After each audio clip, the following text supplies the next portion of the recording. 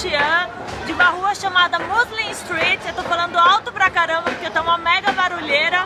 Mas o que eu queria mostrar pra vocês, por ser uma rua dos muçulmanos, uma coisa que eles têm aqui que você não vê nos outros lugares é cordeiro.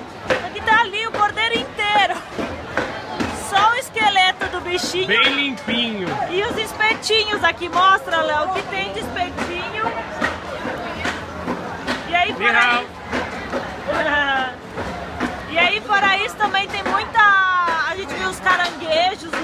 Aqui também, ó. Mas tudo aberto, sem refrigeração. E não dá tem nem- mar perto daqui, É, então. não tem nem mar perto. Então, assim, a gente não arrisca comer, mas é uma aventura, assim, pelo número de gente, pelo cheiro. Você sai completamente defumado, tem um amigo... Olha aqui, ó. Dá uma olhada, tem de gente na rua. É, são seis e meia, são sete horas da noite.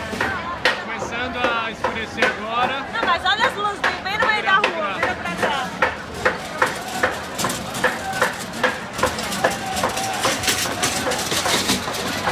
Uma aventura. É aventura que eu tô falando aqui. A gente vai continuar andando pra lá agora. Ver o que, que tem. Vamos indo, Kel. Ó, aqui tem um esqueleto abertinho. Dá uma olhada aqui, ó, que loucura. Aí, ali tem um restaurante, ó, tá vendo? Uma galera comendo lá dentro. Tem esse iogurte que eles comem bastante.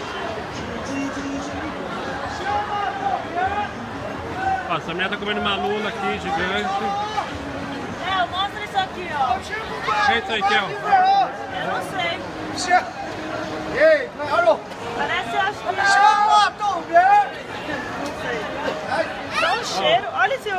Algodão doce. Olha a menininha aqui. Isso aí, vamos lá. Vamos lá, vamos continuar pernando aqui. Olha quem nos espera ali.